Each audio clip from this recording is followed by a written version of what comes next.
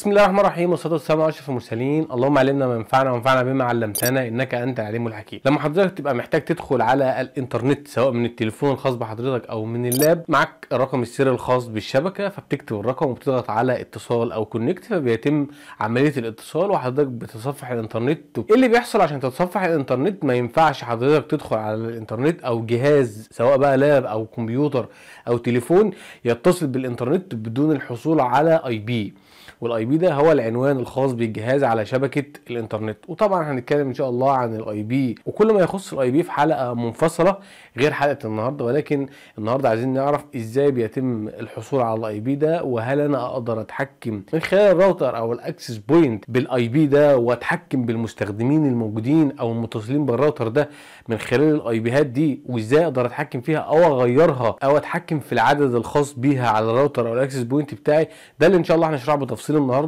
إزاي تقدر تحمي الراوتر بتاعك أو تتحكم في الراوتر بتاعك من خلال CP البروتوكول الخاص بتعيين ال IP هات بشكل افتراضي أو تلقائي للتليفون أو كمبيوتر أو أي حاجة هتتصل بالإنترنت. هنعرف إزاي الكمبيوتر أو التليفون الخاص بحضرتك بيتصل بالراوتر من خلال ال DHCP وهندخل على الراوتر ان شاء الله ونعرف إزاي نقدر نتحكم في ال DHCP وبنعمل IP وإيه هي المميزات أو الخصائص الموجودة اللي أنا أقدر اتحكم فيها من خلال ال router. ال DHCP هو اختصار ل Dynamic Host Configuration Protocol وزي ما قلنا هو بروتوكول يعمل على تعيين IP بشكل تلقائي للأجهزة سواء بقى تليفونات أو كمبيوتر أو لابات المتصلة بالرواتر أو أجهزة ال access point. طبعا دون تدخل منك يعني لما تيجي تدخل على الإنترنت التليفون اللي أنت داخل بيه على الإنترنت بياخد IP مش أنت اللي بتعينه يتم تعيينه تلقائيا عن طريق البروتوكول DHCP وبرضه هنعرف إزاي تختار IP بشكل manual بشكل يدوي وتكتب ال IP اللي أنت عايزه للجهاز بتاعك سواء برضه لاب أو كمبيوتر أو تليفون. إيه اللي بيحصل؟ حضرتك لما بيكون معاك تليفون وعايز تتصل بشبكة ما أنت معاك ال password الخاصة بيها بكل بساطة بتكتب ال password وبتضغط على connect وإحنا اتفقنا من شوية إن ال password مش كفاية عشان تتصل بالإنترنت. لازم التليفون الخاص بحضرتك ياخد IP عشان تقدر تتصل بالإنترنت. اللي بيحصل إنه لما حضرتك تكتب ال password الخاصة بالراوتر وبعدين تضغط على connect التليفون بتاع حضرتك بيبعت حزمة بيانات تدور على server DHCP الموجود في الراوتر الخاص بحضرتك. الحزمة دي بيبقى موجود فيها عنوان ال MAC address الخاص بالتليفون بتاع حضرتك علشان ال DHCP زي ما اتفقنا. هو اللي هيدي للتليفون ده ال IP الخاص بيه اللي هيمكنك من الدخول على الإنترنت. بكل بساطة لما server ال DHCP بيستقبل هذه الحزمة من التليفون بتاعك بيبعت للتليفون الخاص بيك الرد بقى بيقول له أنا استقبلت منك البيانات اللي أنت بسيتها ان انت عايز IP فانا هبعت لك العروض اللي عندي. بيعمل حاجة اسمها DHCP offer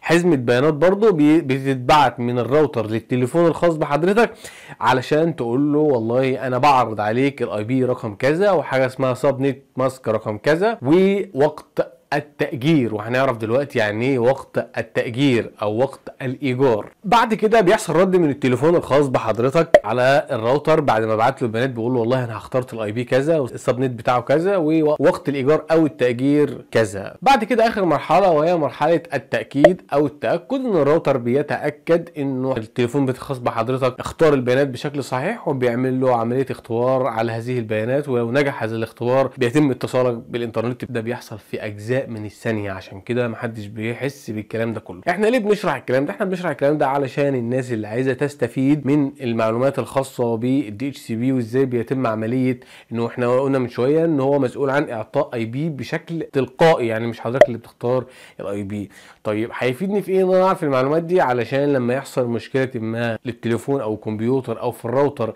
إنه ما بيقراش IP هات أو حصل مشكلة ما إنه فشل الحصول على IP والرسائل اللي كنا بنشوفها دي يبقى تأكد إنه ال DHCP فيه مشكلة ما. عشان كده إحنا بنقول يعني إيه DHCP وإيه وظيفته. لو حضرتك دخلت على الراوتر الخاص بيك من خلال ال IP المعروف الخاص بالراوتر 192.168.1 وضغطت على network. وبعدين ضغطت على DHCP server هتلاقي قدام حضرتك طبعا أول اختيار ده اللي هو DHCP server وقدامها check لو عملت check فيها يبقى أنت فعلته ولو شلت ال check منها يبقى حضرتك لغيت ال DHCP server أو عطلت ال DHCP server على ال server الخاص بيك وبكده هيبقى حضرتك مجبر تحط IP هات بشكل يدوي. بعد كده عندك دي اتش سي بي ستارت اي بي ادرس ودي اتش سي بي اند اي بي ادرس وده وده اللي لسه قايلين من شوية حضرتك بتقدر تتحكم في عدد الأجهزة المتصلة بالراوتر من خلال حاجتين إما من خلال إعدادات الواي فاي الخاصة بحضرتك أو من خلال ال DHCP server